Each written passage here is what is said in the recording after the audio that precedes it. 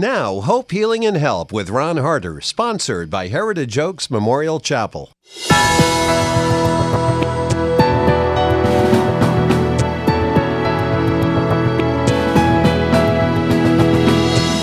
Welcome. This is Ron Harder, and you're listening to Hope, Healing, and Help. And I'm here to share with you how you can deal with your grief and move from mourning to joy. We come to you as fellow travelers on the journey of grief, having lost our son Zachary to drowning in 2006, lost both my parents and a number of close friends. And so I am acquainted with grief, and I think that allows us then to share with you. And today we want to let you know you're not alone, and we're going to give you some more tools to help you on your journey. I have on the phone with me the author R. Glenn Kelly. I know him as Ron. That's what the R is all about. And we met at a bereaved parents gathering in Indianapolis late last month. I appreciated so much what he had to share about his own grief and experience and how men and women grieve differently. So I invited him to come on the show. Welcome, Ron. It's good to have you on, with us today. Well, thank you, Ron. It, it's actually my pleasure to be here. Well, you know, I guess you're calling in from Tennessee, Balmies, Tennessee, right? I am, sir. I am, where the uh, the temperature has no problem with going higher and higher. well, that's why we have air conditioning. Huh? Hey, brother, it's just good to have you with us, and I think, of course, it's very important today to talk a little bit about uh, your son Jonathan, and and what happened, and give us the background story, and lead us up to the loss uh, oh, I of Jonathan. Be so glad to do that. I, I love talking about Jonathan. Jonathan was my hero. I uh, I am his father. I'll always be his father. And, and unfortunately, uh, he was called home in June of 2013. He was such a little hero. He was born uh, with a condition known as hypoplastic left heart syndrome, which is a very scientific word for saying that the left side of his heart failed to develop in the womb. And while it's a, a rare heart condition, it's certainly not rare enough. Um, you know, we were uh, handed Jonathan on the first day of his life and told he might not make it uh, make it through the night. But uh, between his will to survive and, and God's answers to prayers, he did. Uh, he made it for 16 and a half years before his heart failed on him. Uh, during those 16 and a half years, uh, there was so much research on, on not only his heart, but on his incredible recovery from uh, some of the surgeries they did to reconstruct his heart so it functioned on just two chambers. Isn't that amazing? It is amazing, and he served so many other children that he never met. Um, you know, in, in ways that that hopefully their lives uh, will go on longer because of what they learned about my son. Uh, I can't I can't get away from the fact that uh, you know I say this in jest, but I say it a little bit from the heart that in a way he kind of uh, he kind of cheated me out of leaving uh, his legacy or my legacy to him. He left his legacy to me. So now I I use that and I do what he did, uh, and that is to go out and serve. Well, I know you said at in your seminar that um, he was going in for um, a really quite a simple procedure, and it went bad. Can you talk Yeah, a little it- bit it- about that? There, there are always inherent risks to, to anything. Gosh, we hear about some of the horror stories from you know plastic surgery. He had gone in for a heart catheterization, and part of that was to, to just kind of poke around. Uh, there are parts of his heart that that uh, don't develop because they aren't natural parts of the heart, and uh, he had some issues with uh, drops in, in oxygen saturation where they would go up and, and just sort of you know for for lack of a better term, and I hope the doctors forgive me, but tweak him a little bit. He'd been through it before. Yeah. Um, so we went through that procedure very, very well. Uh, came out uh, into recovery as we had done, I, I you know, I, I hearken to say dozens of times before.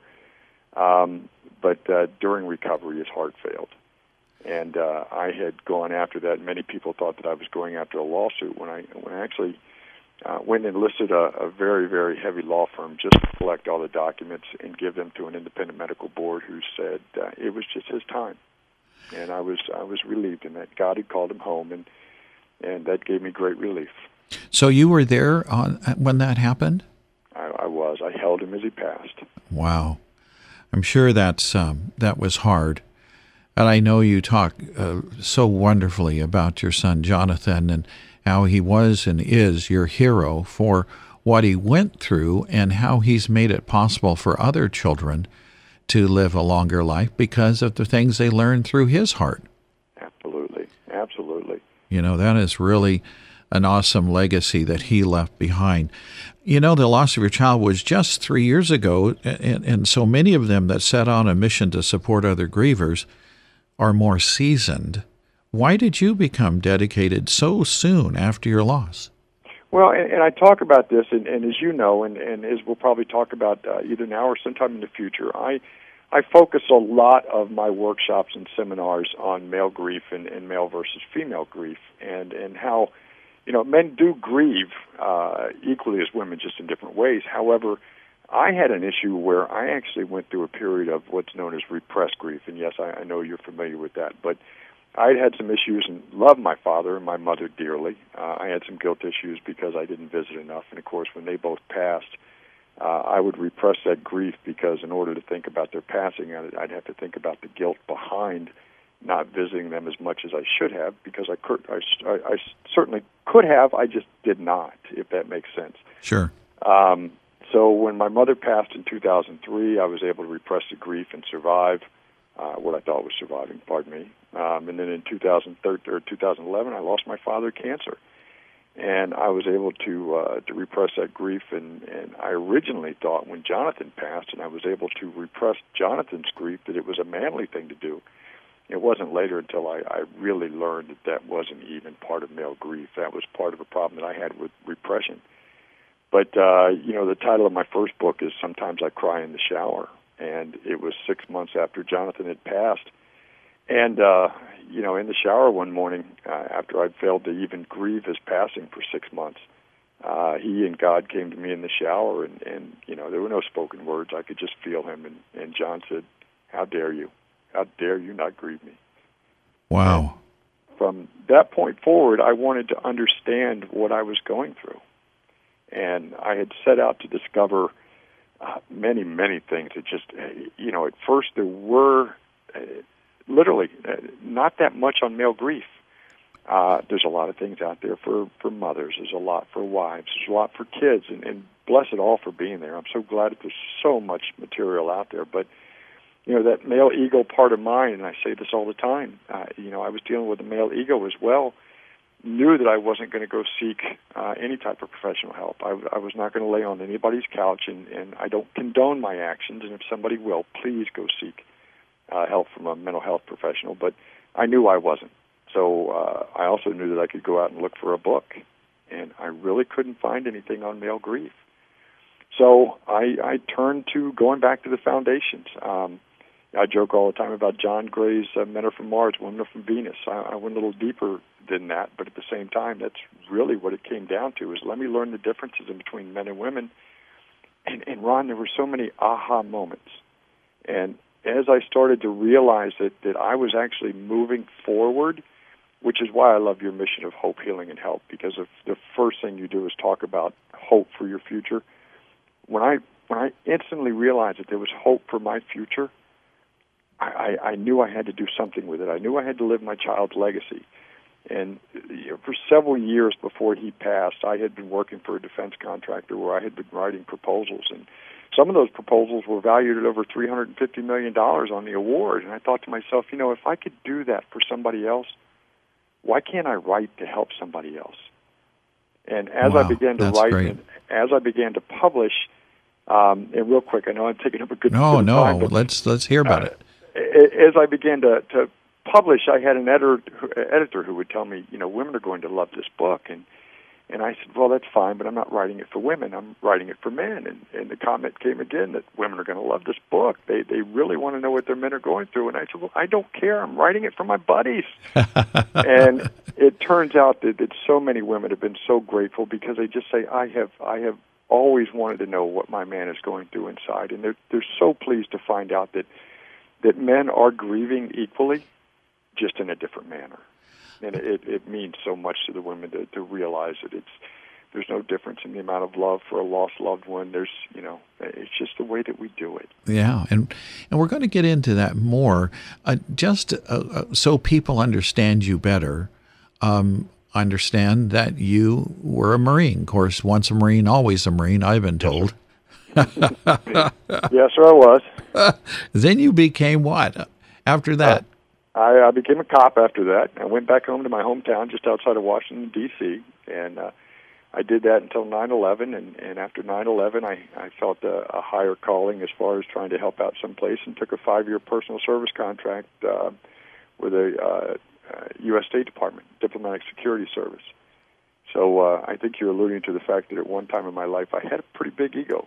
Yes, I, I think that that is uh, important for our guys to understand. Okay, because I want you guys to know we're not dealing with a wimpy guy here. Okay, I mean this is a guy that fought for his life and for other people's and protected them, and uh, you know he was a pretty tough, pretty tough dude here. You know, and so I I think it's important for guys to understand that. Now I understand also that that in this process of God working in your life, there was there was some time where he was kind of working on you and then did some more things to comfort you. Can you talk a little bit about that?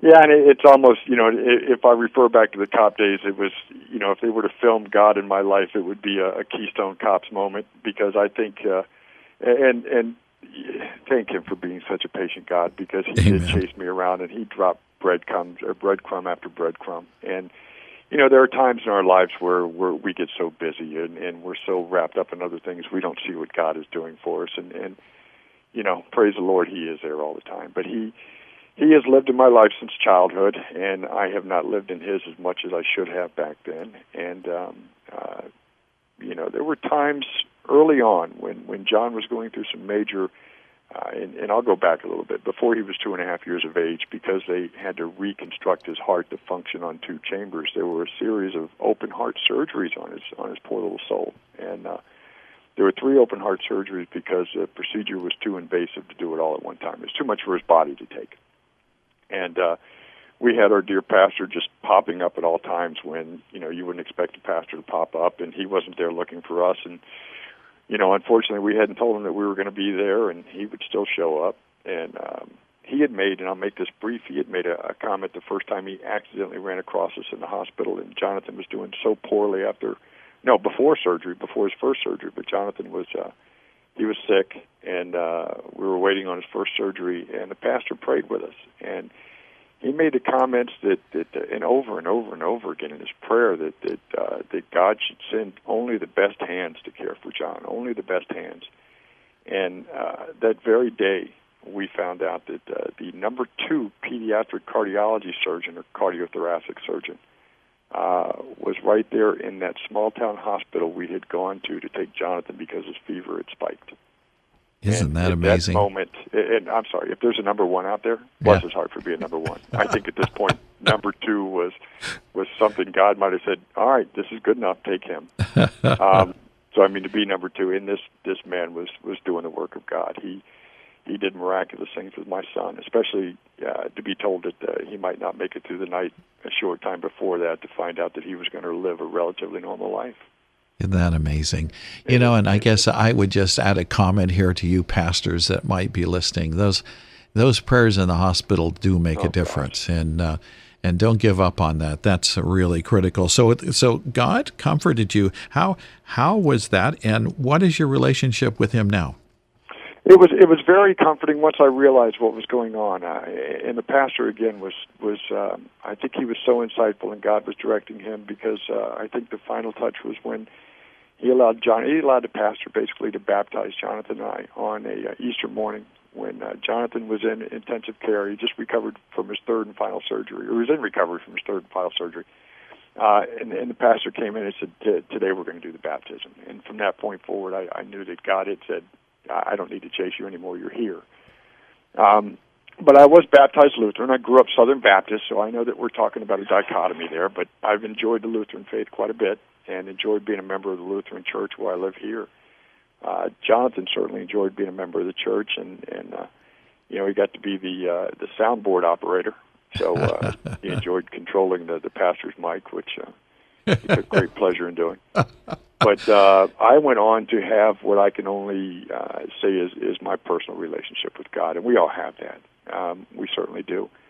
Uh, I've gone on to uh, do a self study on the Bible um, for a while, I was doing the Bible on on a tape on my iPhone, which was irritating because as you drive, you tend to wander, and if you have to back up, you have to back up a full chapter, and you can't just back up a verse. But we did it, and uh, and I've done a lot of self study. And my life, uh, going out and serving others and working with wonderful people like you, who, you know, I will learn so much from. I think is a mission that God has sent me on, and, and there is no fear.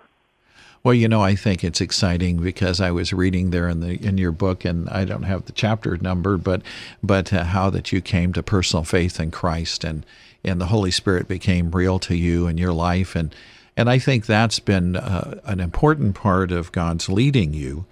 Um, because as you've done your research, you have found a lot of different things, and and you know, let's talk a little bit about this whole issue of do men and women really grieve so differently? And uh, what have you learned, and what would you like to start sharing? Well, you know what, and I'll preface this with something that'll surprise most people, and, and that's the fact that the research has shown, just by studying and mapping the brain, that men experience twice the amount of emotions that women do. Wow. Is that surprising? Yeah, it is. But you wouldn't think that from the onset, would you? Because men do not show it. Okay. They? No, they don't. So men are, and I think it's easy to see, men are more internal while women are external. And eh, it's it's if you can get over the fact that that it's always going to be like that, and and I always tell people that, that either God had a sense of humor or God knew exactly what He was doing when He made us polar opposites of each other. We actually complement each other in that way, but in times of stress, we have a tendency of uh, uh, letting that get in our way. Um, we can talk in, it, in in great length, but you know, while a man is is grieving more internally, he's also more systematic and more. You know, he's got to do something. There's got to be an action. There's got to be something when a tragedy comes along. So he's almost, um, and there's no good word to say it, but he's almost relieved that he has things that have to be done right after the passing of a loved one. Plans have to be made. Pastors have to be got up with. Uh, eulogies have to be written. And because he's not crying, the woman who is more external and who is very empathetic and, and lives off of the emotions of others is looking at her, and let's just say looking at her husband. And she might have a tendency to go, well, he's not crying like I am crying, and therefore he must not have loved the child as much as I. Now I'm going to the extreme, so you'll uh, uh, allow me to go there for just a minute. So he must not have loved the child as much as I, and therefore she's got a little resentment in her mind while he's trying to take care of the things that have to be done because that's the the instinct of the male is to take care of these things he's looking at her saying i can't get anything done because you're crying on my shoulder all the time you now, know yeah that's interesting because i i think even sometimes i i have a men's grief group and one of the gentlemen was telling me that the, he'll want to start talking to his wife about grief, and she gets caught up in the grief so much that it kind of cuts him off. Absolutely, you know, absolutely. But I, I and I do want I want you to know, and I want the audience to know that that we do paint with a broad brush when we talk about this. We just we realize that we talk in generalities, and, and I always say that you know, in general, we all know that men are taller than women. However, we do know that there are some women that are taller than men. So, you know, we're living in an environment where my grief is different from your grief. I call it snowflakes and fingerprints. We're, we're all unique in our grief, but we're all unique as people too. So we can only talk in generalities. But for the most part, yes. I mean, women are, are far more empathetic and, and far more outwardly emotional about their grief than men are going to be.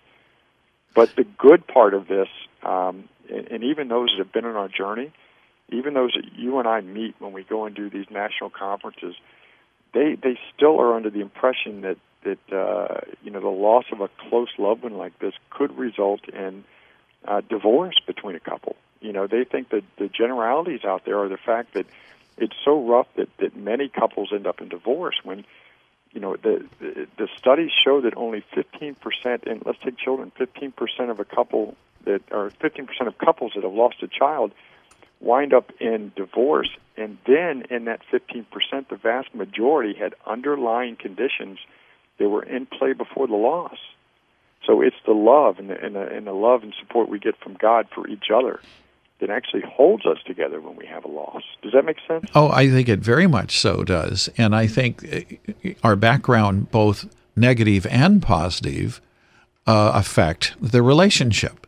Sure. You know, if if we have drawn together in other times of hard hard issues or losses or prayed together or spent time in the Word together, it it makes a big difference. And when we have been alienated, maybe from each other or very independent of each other, then it can lead to greater distance and and uh, separation. So one of the other things, and we'll talk more about this, I'd like us to think a little bit about this whole thing of men compartmentalizing their life as Yes. opposed to women. Do you see that to be the case?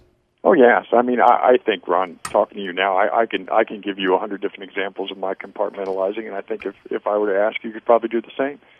I think on general, any man that calls in could tell you, uh, you know, there there are parts in our brain that we have to go to when you ask me about something, but if you don't ask me about it, they just stay there.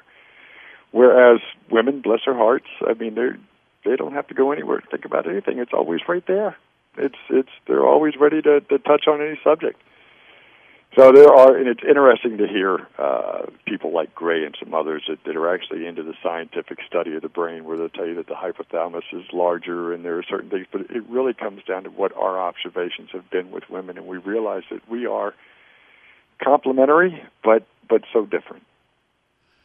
And that's you know, and and praise God for the difference. You know, Yeah. I think that you know, you think about Genesis and what in the whole creation model there that God gave us that that man was made uh, and he and she man woman came along and it fit the Right. man you know and i think that's that's emotionally too and i and i'm glad for that i think we just need to encourage each other to pull together and to seek to understand the other person's grief and how they're dealing with it without being critical Absolutely, and, and realize that that should a, a, a profound loss, and, and gosh knows that we don't want it to happen, but should a profound loss happen, it is that love for each other that will see you through and help you on a path, uh, and, and help you find that hope for the future.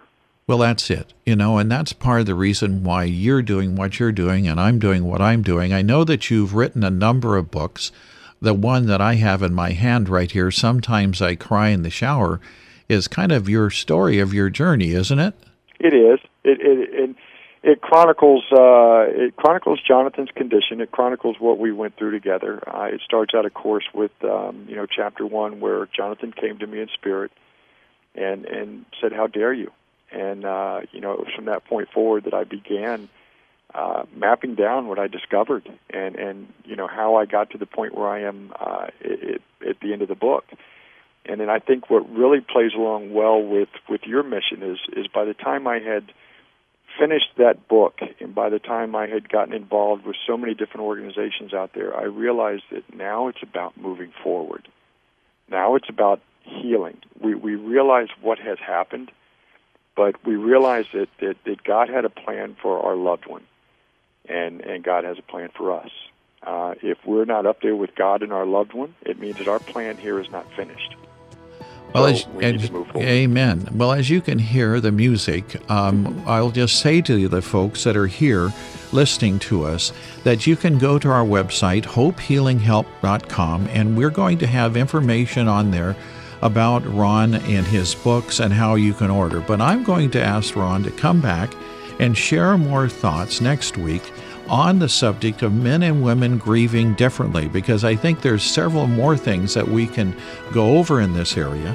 Just remind you what our our theme verse is is Romans 15:13 May the God of hope fill you with all joy and peace as you trust in him so you may overflow with hope by the power of the Holy Spirit. Just remember Hope Healing and Help